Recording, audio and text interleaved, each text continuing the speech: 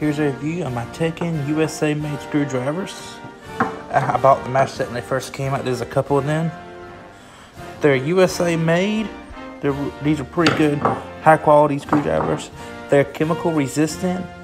And they also say on their website that you can hit it with a hammer, but I will not try that. They fit pretty good if I can get to the screw. Have a good, pretty good fit.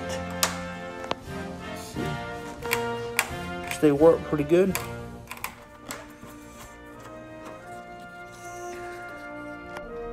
Let me go to another screw now. Here is the, I think this is a, let me see.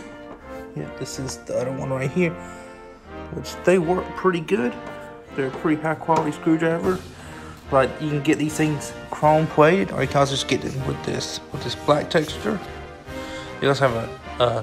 They have a different style handle too. They have two different styles. This the red handle. Let me grab the other handles I have. Then they also have this style handle, which I prefer the hard plastic ones better than the rubberized ones. I'm gonna show you all the other screwdrivers I got in a minute.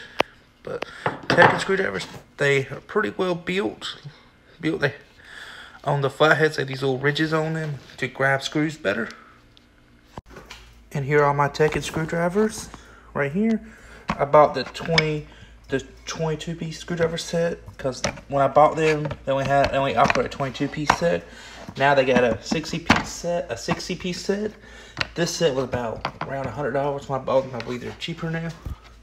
Which this white stuff on this the white stuff it was not originally with this color. I ended up just painting these. Kind of liked it better. As you can see, the paint's worn off on this one and the paint, because I liked it better without the paint. These are really good, high quality US screwdrivers.